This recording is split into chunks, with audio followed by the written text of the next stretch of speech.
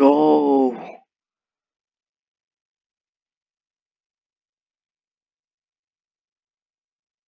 Let's get it, boys.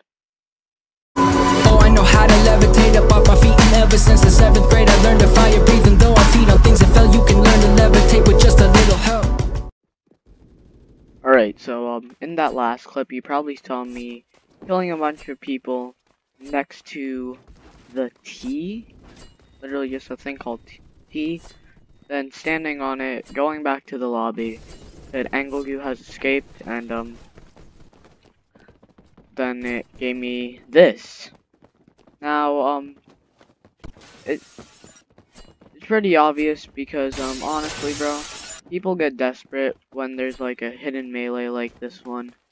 And, um, they always want to know, like, how to get it, like, uh, like, honestly, bro, like, once there's, like, when there was the crane thing, everybody posted how to get the crane melee, blah, blah, blah, blah, blah. But, so, yeah, I'm just gonna tell you guys how to get this, guys. So, basically, what's gonna happen is, in infection game mode, which is happening right now, what happens is, at the end, when there, rather, when the time goes under a minute, or when there's like I think five survivors left, there will be these like T's. Now there's gonna be three T's in the places where flares are usually placed during flare domination.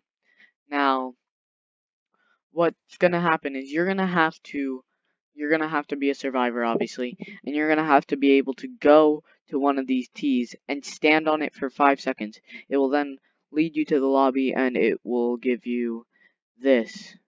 Basically basically the way to win is to go on the tee, and the reward for winning is the sickle. So yeah, short video. This is the third part to the Sega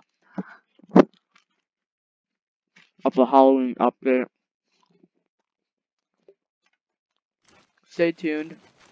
The last one's coming up probably today. So um yeah, stay tuned for that. Hopefully you guys enjoyed. Hopefully you guys can get this amazing melee now.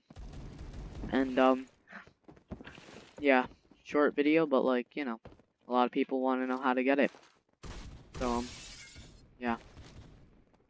Also, by the way, I used photos to edit this video. LMAO, ha ha ha, I'm so smart. Mega cool.